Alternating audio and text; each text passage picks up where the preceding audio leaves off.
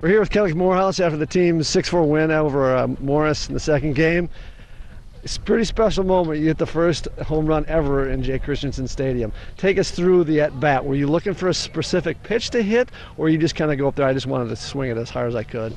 Um, it's more just like being selective and like obviously not getting a ball or anything, and just making contact is the main thing that I was thinking about. I wasn't thinking about cranking it or anything. It just happened. Were you looking for a specific pitch? Um, kind of like low outside is usually right. After you hit the ball, did you kind of know it was going to go out? First, I honestly thought that the catcher was going to get it, but then uh, I uh, saw it go over the fence, and yeah, felt pretty good. Uh, and then let's go through then your second big moment of the game, your catch out in the outfield.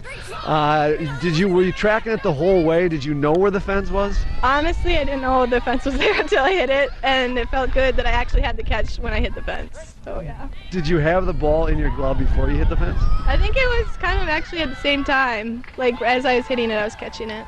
Okay, and then when you went down, did it even did like pop out at all, or just stay in the water? Nope, it just stayed right there. It felt good. uh, now, as you go forward, you got the win today, six four. Now you're going to head into conference play. What do you guys need to work on to uh, continue to improve? Um, I think we just need to stay aggressive at the bats and be confident there, and be confident in our fielding too, and everything.